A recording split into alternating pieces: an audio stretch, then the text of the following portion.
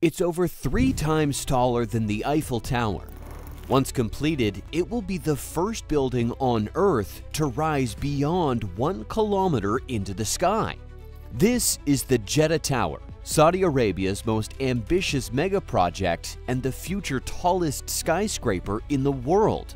Towering over 1,000 meters high, it will break every record held by the Burj Khalifa.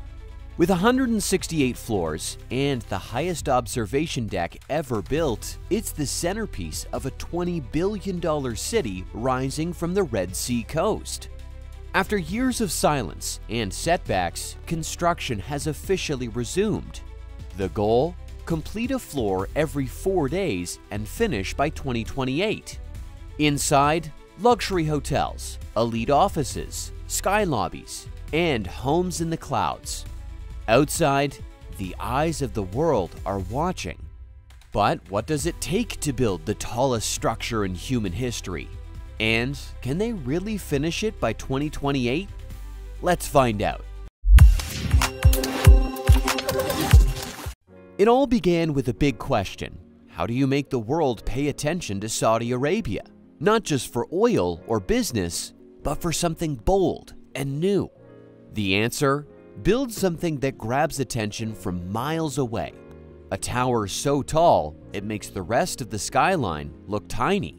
That's the Jeddah Tower, a vertical city in the sky, the centerpiece of a $20 billion dream called the Jeddah Economic City.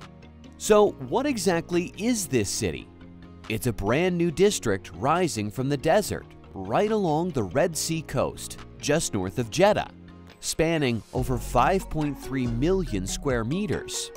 It's planned to have everything homes, office towers, shopping zones, hotels, hospitals, and even green parks. And right in the middle of it all, a skyscraper that will shoot more than 1,000 meters into the air. But when did this all begin? The idea took shape in the mid 2000s. By 2013, they began digging and laying the foundation. Things were moving fast. By 2017, the tower had reached 63 floors. But then everything stopped.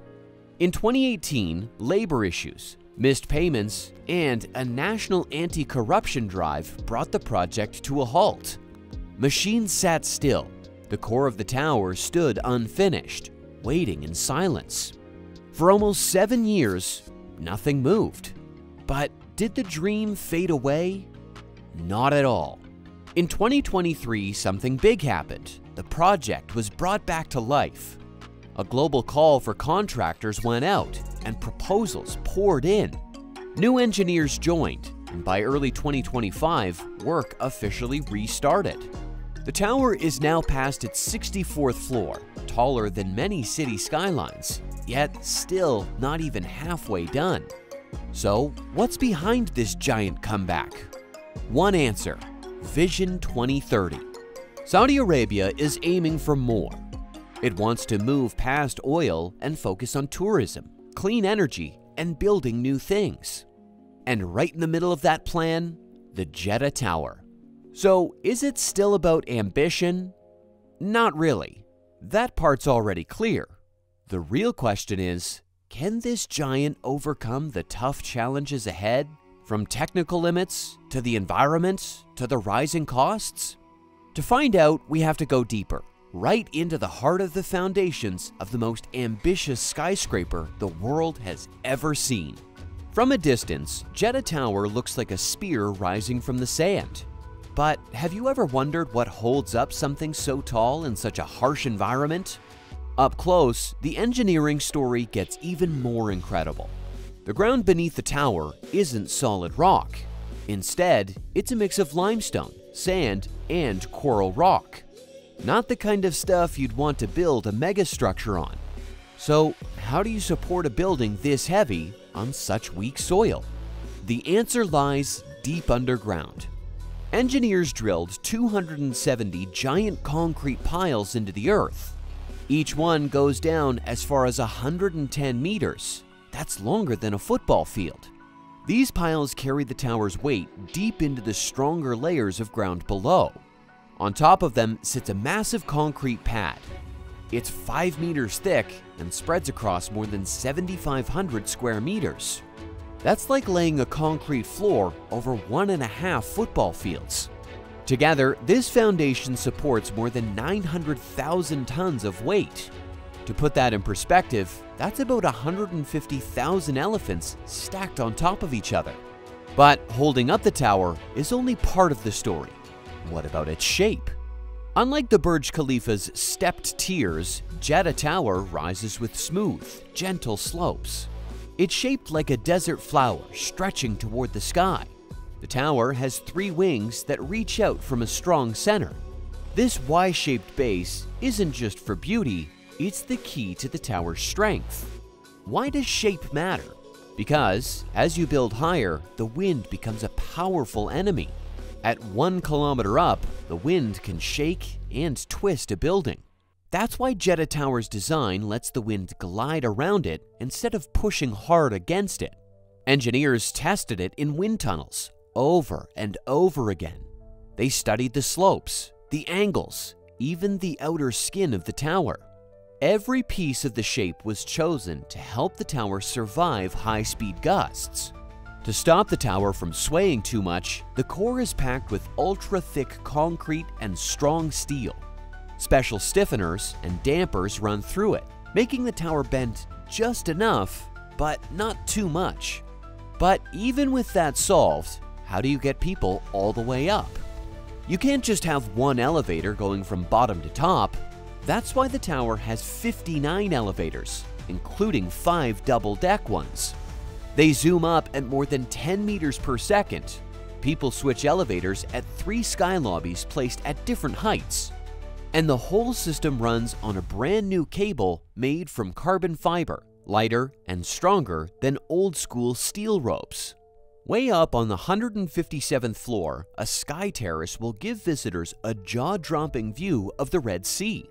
At over 600 meters above the ground, it will be the tallest observation deck on Earth. But building something this big takes time and a lot of effort. Even now, it takes four full days to finish just one floor. Crews work day and night.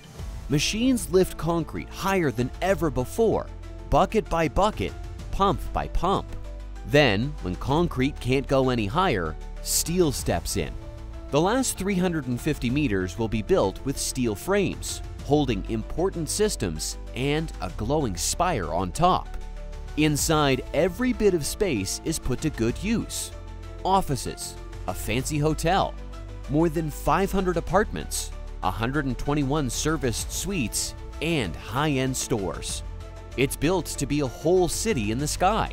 But is it just about luxury and height? Not at all. This tower is also built to protect the planet. How? It faces away from direct sun to stay cooler. Its shiny glass skin reflects heat. The air conditioners reuse water they collect. And the fresh air for cooling? It's pulled in from high up, where it's naturally cooler. Even the tower's shape casts shadows that help keep the inside from getting too hot. And what about power? Sure, the tower uses a lot, but it also saves a lot. Special elevators send power back into the system as they work. LED lights and smart sensors turn things off when not needed. And that fancy glass?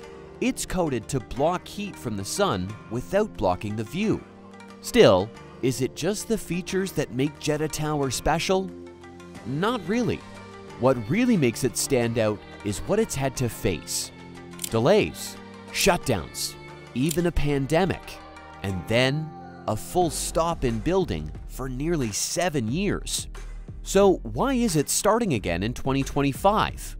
Because new money came in, global companies showed interest, and the country decided it was time to finish what it started.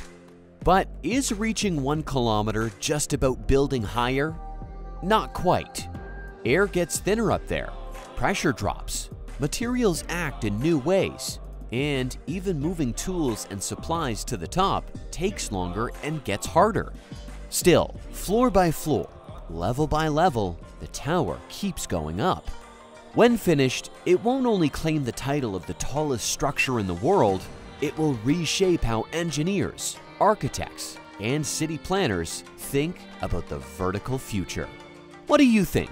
Visionary leap into the future or just an overambitious symbol of wealth? Drop your thoughts below and don't forget to like, subscribe, and turn on notifications.